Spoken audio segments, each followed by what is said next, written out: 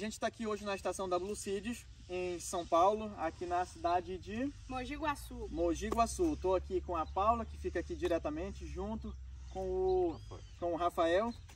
E aqui o Paulo, nosso amigo parceiro aqui há anos, que a gente vende as sementes e outros insumos aí. E hoje nós vamos conhecer um pouco aqui da produção de sementes deles aqui e tirar alguma dúvida. Fica até o final, que tem muita novidade aí que você vai entender como acontece esse processo e como isso aí chega até a sua produção. Paulinha, pode começar. Prazer, gente. Eu sou a Paula, coordenadora da Fazenda. Estamos aqui de porteiras abertas recebendo o pessoal e ficamos à vontade. Se quiser fazer uma visita, conhecer, estamos junto. Como eu estava explicando aqui, a nossa produção de semente, um dos campos é feito aqui. Então a gente atualmente está com três lugares onde a gente faz a produção de semente. Fazemos aqui em Mogi Guaçu, no Chile e também lá no norte de Minas. É, aqui nos campos a gente faz também um trabalho de desenvolvimento além da produção de semente. Então a primeira triagem ela é passada aqui na estação. Então vocês aqui tem um, um campo onde cada plaquinha dessa é uma variedade. Então a gente coloca lado a lado, onde a gente consegue avaliar melhor a questão de cor, de brilho, crespicidade, o pendoamento, o tamanho, o formato, as tolerâncias que ela, que ela vai ter, né? A milde, o queima de borda. Então, assim, tem itens que são indispensáveis para a gente estar tá trazendo um material. E sempre também colocando cheques para a gente fazer essa comparação, porque não faz sentido a gente estar tá colocando uma coisa no mercado se não está ah, superando as expectativas do produtor. Perfeito. E Paula, qual é o diferencial que tem da alface de vocês, BS155, que a gente está usando muito, está indicando, nosso amigo Paulo está vendendo bem aí no Brasil todo e até para fora também, estamos mandando para a África para alguns é. clientes. Qual é a diferença dessa, você pode falar, ele pode falar, qual é a diferença da questão de alta temperatura nessa resistência para outras que tem no mercado? O que, que você acha aí que são os pontos cruciais? Certo. Dá a primeira palavra. Tudo bem, pessoal? Eu acho que assim, as principais características que a 155 traz para essas regiões de alta temperatura é um sistema radicular muito robusto. Por mais que a pessoa tenha uma condição de sistema que não está bem dimensionado, ela vai conseguir atender. É um material que tem um número de folhas bastante elevado e uma cor muito bem aceita no mercado. Aí, Paulinho, você quer complementar alguma coisa? Claro.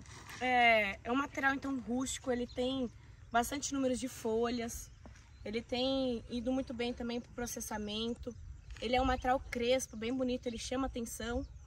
E essa característica dele também de aguentar o pendoamento. Então, ele é uma planta que chega no tamanho e tem aquela tolerância ao pendoamento, né? Não vai sair o pendão antes de chegar no ponto de colheita. Então, é um material que está muito competitivo e tá interessante de conhecer que é a BS 155. Perfeito, perfeito. E o processo de semente, onde acontece, como que acontece para a galera entender melhor isso? Sim, é, como eu tinha mencionado, né, a gente faz em três lugares para a gente ter essa segurança, que a gente sabe que trabalhamos no campo aberto, tem intempéries, tem geada, tem doenças. Então, um dos campos aqui em Mogi Guaçu, um no Chile temos também um campo no norte de Minas. É, esse processo é, é, feito assim. Vamos chegar mais. Vamos. Vamos chegar mais. Então a planta ela fica nessa, nessa condição, né? E depois ela vai dar a flor, depois ela vai fazer a produção de semente. E a colheita é bem artesanal mesmo. A gente vem com uma bacia aqui, tomba a planta e, e, e mexe nela. Então, assim, toda a colheita é planta por planta no manual. Então, assim, não é uma, não é uma máquina que vem, então é tudo artesanal mesmo, vamos dizer assim. A gente tem aqui também uma máquina UBS, uma beneficiadora. Então, a gente faz também a limpeza aqui e embalamos e vai para o nosso estoque, onde fica refrigerado, mantendo as condições padrões que tem que ter de temperatura, umidade. É feita essa separação lá no escritório com com o Léo, que fica lá na parte responsável, vai na transportadora e aí chega pro produtor.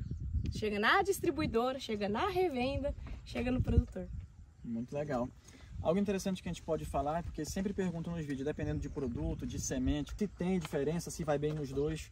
Claro, eu sempre falo, né, mas é bom ouvir aqui da especialista que faz as sementes aqui também. Correto.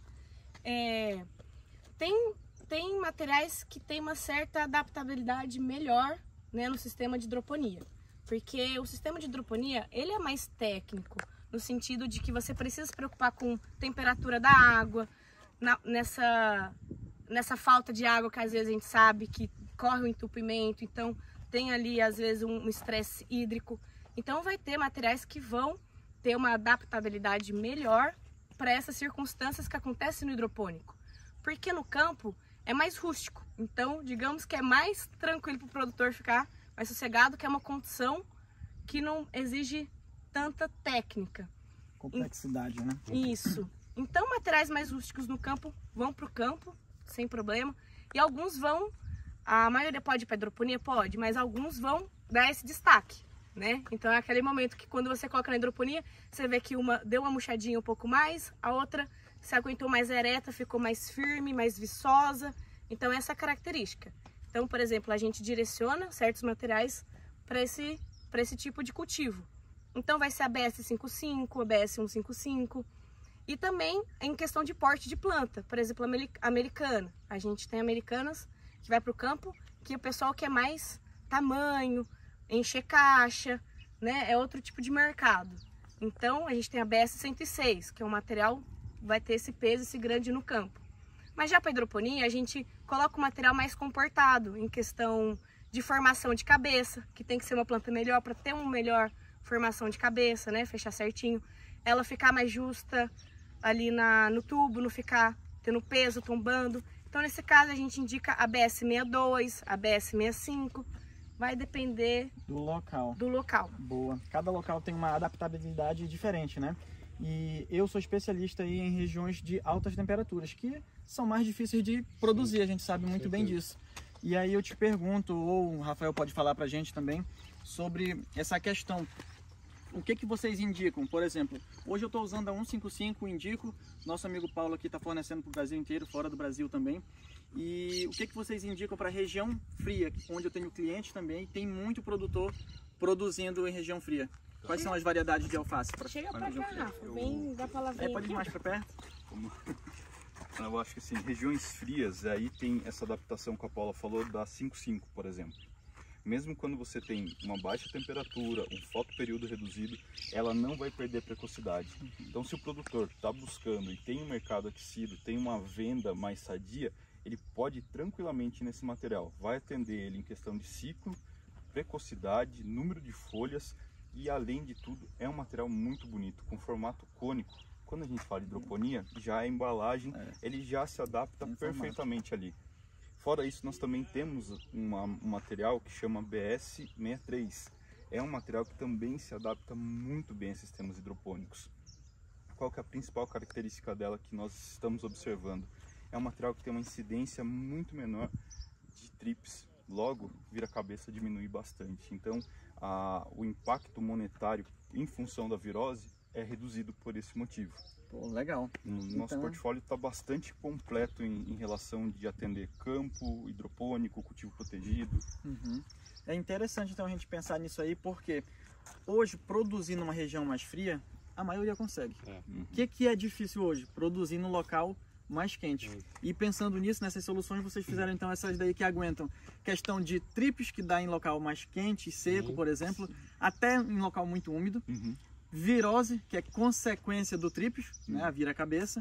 E além de aguentar altas temperaturas é uma mão na roda para quem quer produzir. Com certeza. Além de usar produtos, Paulo, que tu tem lá biológicos para inibir a virose. Com certeza. Aí salva todo mundo para ter uma produção boa. Aí é o conjunto completo, né? Exatamente. A, e a Brucis também está lançando agora um, um 60, né? Sim, sim. Rafa, Outro lançamento. É um lançamento agora, a gente vai estar tá recebendo semente provavelmente na semana que vem. É uma alface que vem prometendo bastantes resultados. Eles já têm ensaios uh, com resultado consolidado, né, Rafa? Sim, nós temos então já. Já vai ser mais uma opção também. Boa. Então vamos experimentar todo esse material. Quero agradecer vocês aqui. Querem falar mais alguma coisa sobre o produto de vocês? Fiquem à vontade. Completar um pouquinho do que o Rafa falou, porque é muito delicado quando a gente fala assim, tem certa tolerância a trips, né? Porque a trips, ela vai ter uma, uma preferência. Então, assim, se você colocar tudo lá, um certo material, achando que ela, você vai ter esse destaque. Mas quando você de, de repente faz, tem uma variedade, tem outra, tem outra, você vai perceber que ela tem uma preferência maior de em uma ou uma preferência menor de em outra. Isso pode ser também através da, da cor. Então a gente vê que ela tem uma preferência pela coloração mais clara. Então quando a gente entra com um material de cor mais escura, ela dá uma, uma não escolhe essa, vamos dizer assim. Então é só Meio essa que atenção. afugenta. É, só essa atenção, porque não, não, não vamos, ainda não existe material tolerante a Resistente totalmente, né? É, é- isso é importante falar mesmo, porque Sim. senão vai ter gente que vai estar assistindo e vai estar dizendo, ah, então eu vou usar ela e É. não preciso usar produto para Vai resolver o problema do trips, não é? vai uma segurança a mais, aí depois a gente entra com os produtos biológicos que Fargone vende, que eu indico justamente para quê?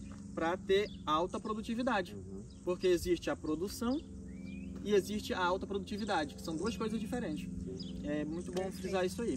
e sempre trabalhar com um manejo preventivo. Com certeza. Né? Ainda mais com quando a certeza. trips vem, a gente, quando apareceu o sintoma é porque foi de 15 dias atrás. Sim.